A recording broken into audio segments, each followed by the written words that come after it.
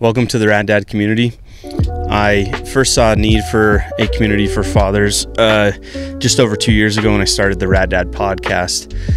And I started looking around, and there was nothing that really fit my personality and my needs and kind of my vision of what a community centered around fatherhood would be. I always knew this is something that I would want to start. I just didn't know where to start it, how to start it, or what platform to start it on.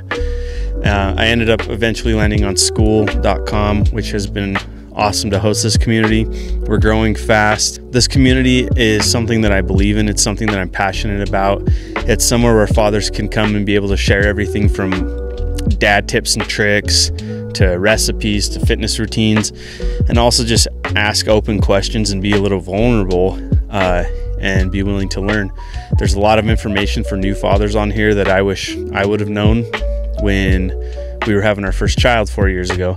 There's a lot of information on you know raising teenagers and toddlers and just all stages of life.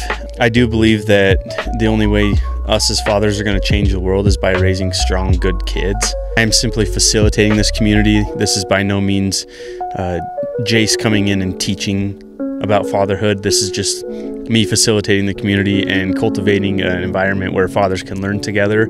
I do believe that my generation of fathers wants to be present, wants to learn and be better. And sometimes we just don't know how. And this community is here to kind of learn together and develop into better fathers and husbands. I'm super excited for you to be here. I'm excited to get to know you, to learn from you. Go ahead and drop a post, uh, intro about you, and just introduce yourself to the group. And I'm sure you'll get a lot of response and find that this community is very involved.